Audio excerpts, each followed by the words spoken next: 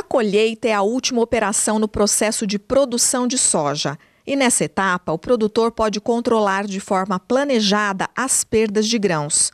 A Embrapa considera aceitável que o produtor perca durante a colheita até uma saca de soja de 60 quilos por hectare, mas há produtores que perdem muito menos.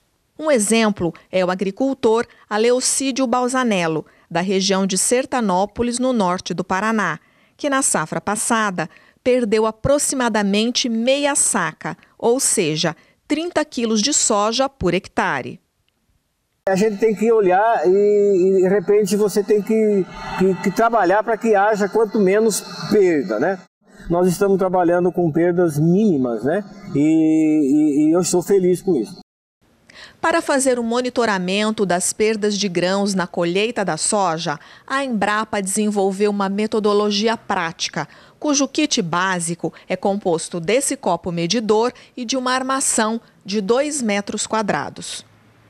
A armação de coleta pode ser feita com ripas de madeira e barbante.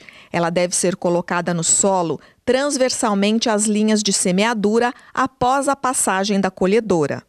Depois disso, os grãos que estão soltos sobre o solo e dentro das vagens na área de armação são depositados no copo medidor. O nível de perda é determinado diretamente numa escala graduada em sacas por hectare. Se o produtor perde mais que uma saca por hectare, está ocorrendo desperdício. E para eliminar as perdas, o produtor precisa identificar a causa do problema.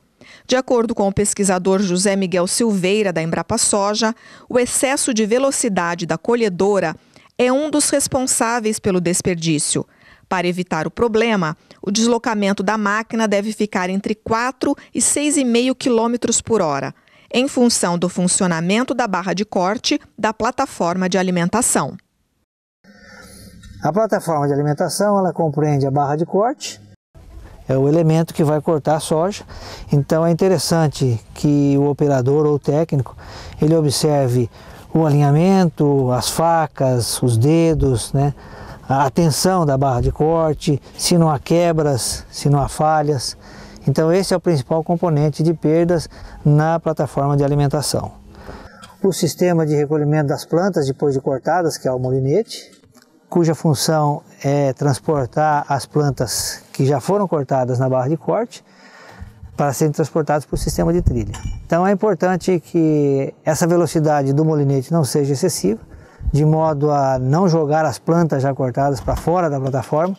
E para isso é interessante consultar o, o manual que acompanha o copo medidor e ele ali vai indicar que de acordo com o diâmetro é, do molinete, então nós teremos a regulagem é, da sua velocidade, em função da velocidade de deslocamento da colhedora. Isso vai fazer com que as perdas sejam as mínimas possíveis também dentro do complexo aqui da plataforma de alimentação. Depois que as plantas de soja são cortadas pela barra de corte, são transportadas para a esteira pelo molinete através das barras e, e os dedos, então ela é conduzida para o centro da máquina, que através da garganta do equipamento leva essas plantas já cortadas para o sistema de trilha. Então o material vai ser trilhado. O sistema dessa máquina aqui é um sistema novo, né? poucas máquinas têm esse sistema de transporte, que é o sistema Draper por esteira. É, segundo trabalhos técnicos, é, aqui nesse sistema de, de transporte por esteira, as perdas e as quebras do material são menores do que do sistema tradicional, que é através do caracol ou cilindro helicoidal. Né? Então é uma opção que o produtor tem, principalmente o produtor de semente, para ter maior qualidade no produto colhido.